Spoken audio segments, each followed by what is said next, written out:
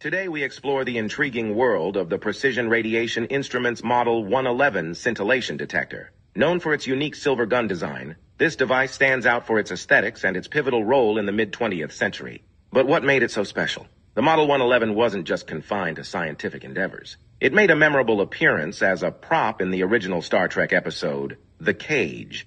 Its futuristic design perfectly suited the sci-fi aesthetic symbolizing advanced technology and exploration. Recently, it also appeared in the new Fallout TV series, continuing its legacy in pop culture. But what made it so invaluable in real-world applications? During the Cold War, the demand for uranium surged, leading to the uranium boom. The Model 111 became an essential tool for uranium prospectors, scouring the American West for valuable ore. With its sleek, futuristic appearance, it was designed for detecting ionizing radiation. The silver gun design made it practical for field work. Unlike typical Geiger counters, which merely click in the presence of radiation, the Model 111 used a scintillator material that emitted light when exposed to ionizing particles. This light was then converted into an electrical signal, providing more accurate and sensitive readings. But there's more to its story.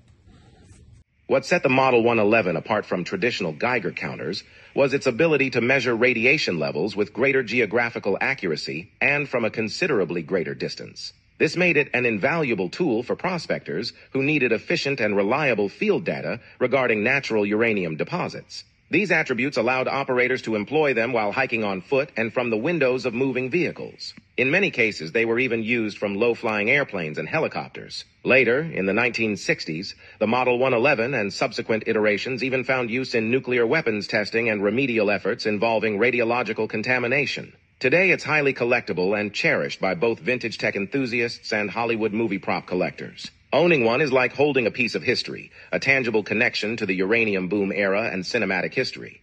If you ever come across one of these detectors, remember its impressive journey from the knurled hands of a 1950s prospector to that of the Hollywood limelight. If you like this content and would like to see more, please subscribe and ring the bell. More videos are always on the way.